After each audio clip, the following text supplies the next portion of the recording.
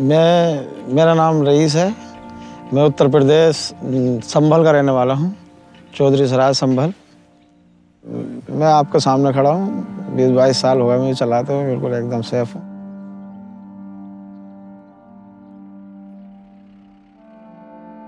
मेरा नाम मोहम्मद मारूफ। मेरी उम्र ऐसी है, उनतालीस साल। मुझे 22 साल हो गए, मौत के कुएँ में गाड़ी चलाते हुए। मोहम्मद अजीम नाम है मेरा। डिस्ट्रिक्ट संबल। मैं मौत के कुएँ में आठ साल से गाड़ी चला रहा हूँ।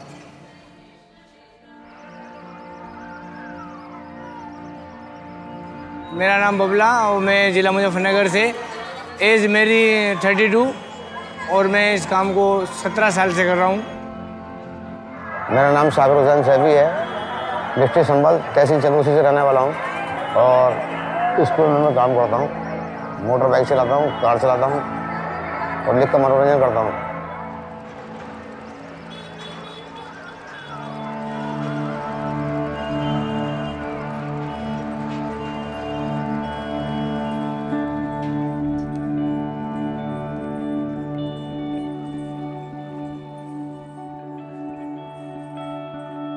मौत का कुआँ जैसे यही देखते हैं कि मौत का कुआँ एक नाम ऐसा है इसका मौत का कुआ।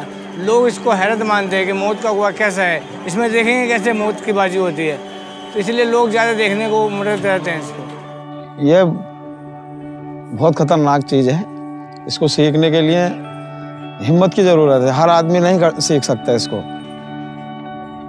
फ़र्क ये है मोटरसाइकिल जो बैलेंस से चलती है और मारुति जो है स्पीड से चलती है। उसकी स्पीड देखनी पड़ती है कम बढ़ती करनी पड़ती है। सिलेंसर आवाज़ के लिए हटा देते हैं जैसे आवाज़ आते ही पब्लिक है सुन के आ जाती है। इसके अंदर जान का रिक्स होता है यही देखा जाता है पब्लिक ये देखती है कि मौत के कुएँ में ये कैसे बंदे हैं जो अपने जान को बाजी लगा के जान पर खेलते हैं इसलिए मौत को वो देखने आते हैं लोग। ये ऐसा स्टैंड बहुत करते हैं मगर हम जो है स्टैंड बहुत कम ही साथ करते हैं। क्यों?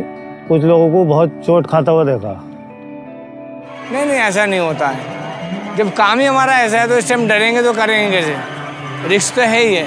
रिस्क तो हर चीज़ में है सर कोई भी काम करते हैं रिस्क तो लेना पड़ता है। खाना खाने का भी रिस्क है।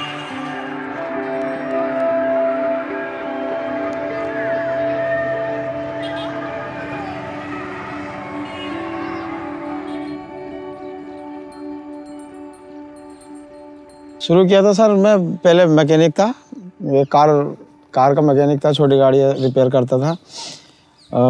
मेरे गैरेज के सामने जो गैरेज था तो उन लोगों का मौत का कुआँ था। तो उन्होंने मुझे दिल्ली भेजा था, उनका लगा हुआ था वहाँ पे मेले में।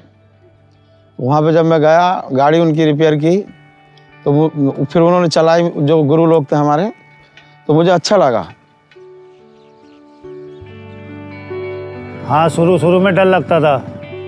कुएँ के अंदर में खड़ा होता था तो मुझे डर लगता था। हमारे जो उस्ताद थे तो वो बड़ी भयंकर गाड़ी चलाते थे। तो उन्हें देख देख के बड़ा डर लगता था। फिर ऐसे ही खड़े होते होते होते हमें डर हमारा दिल का डर जो ख़त्म हो गया बिल्कुल ही।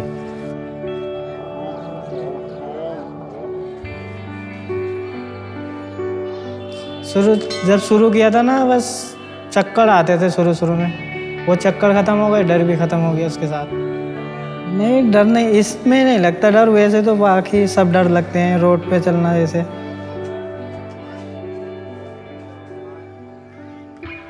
मना करते हैं कि अब मत जाओ, अब बहुत टाइम हो गया चलाते हुए, और, उम्र भी हो गई अब, कोई घर पे बैठो या कोई घर पे दूसरा काम देखो।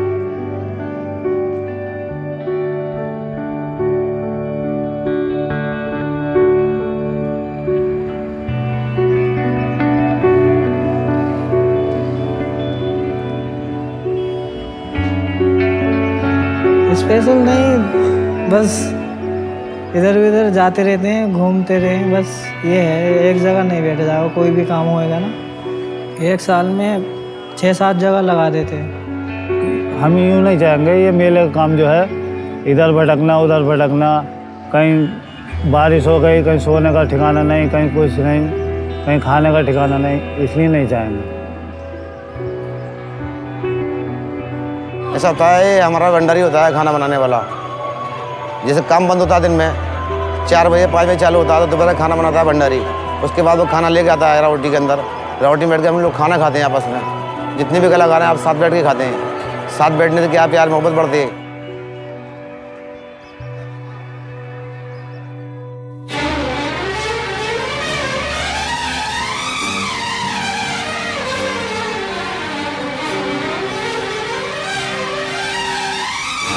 बराबर बुकिंग काउंटर से मिला है दोस्तों जल्द कीजिएगा आप लोग और कराओ वर्ल्ड का दुनिया का सबसे बड़ा मारुति सर्कल जल्द कीजिएगा आप लोग आगे बढ़ के लेकर रहोगी मेरा नाम मोहम्मद इस्लाम खान है और मैं दिल्ली मैनेजमेंट कंपनी का डायरेक्टर हूँ।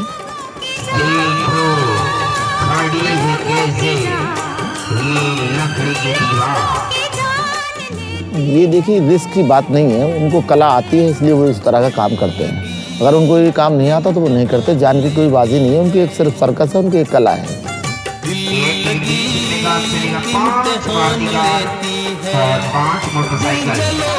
उनकी यहाँ पर जो रोज़गार उनको मिला हुआ है, वो तो है ही। बल्कि हम उनके परिवार में भी कोई उनका परेशानी होती है तो हम उसको सॉल्व करने की कोशिश करते हैं।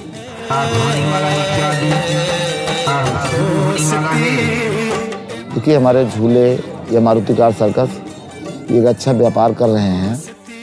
फ्यूचर ब्राइट है। है।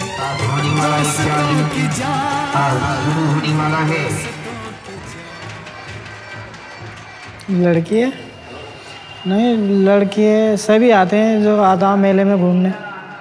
सभी लोग आते हैं। हाँ बहुत अच्छा लगता है फिर। काम में भी मज़ा आता है जब ताली ऊपर से बजती हैं तो। पब्लिक की ऑडियंस की खुशी की देखो देखने के बाद अच्छा लगता है बहुत। पब्लिक अपने से बहुत खुश होती है जनता बहुत खुश होती है। अपनी कला कुछ ऐसी है।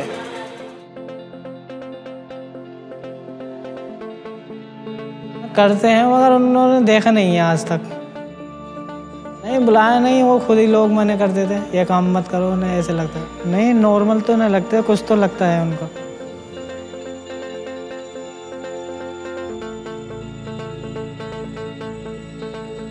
उसको कहूँगा कि बस पढ़ना है आपको। और पढ़ के कुछ और भी करना है और अच्छा बनना है।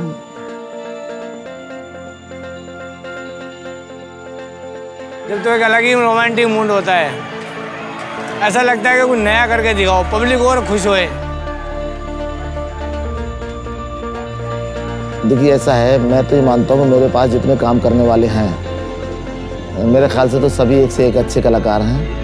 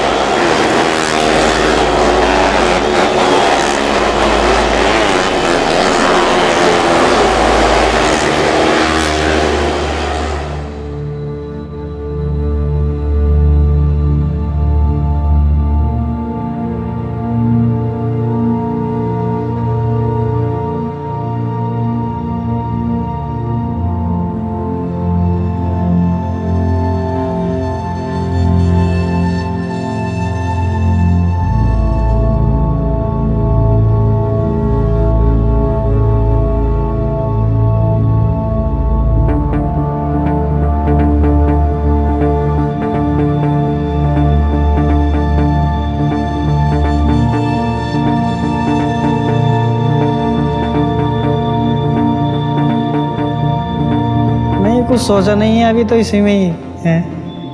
नहीं एक जगह नहीं बैठा पाएँगे बैठ पाएँगे ना। नहीं अभी तो यही करेंगे। मैं कुछ काम चाहता हूँ बढ़िया काम मेरा हो जाए घर पे ही हो जाए तो उसमें अच्छी बात है। घर से बढ़िया कोई काम नहीं है। लेकिन अब बच्चे हो गए अब दूसरा काम करने में भी टाइम लगेगा। अब सोच रहा है कि चलो अब जो भी कराना है, दूसरा काम बच्चों को कराना है, अपना तो जब तक भी करेंगे, इसी को करेंगे।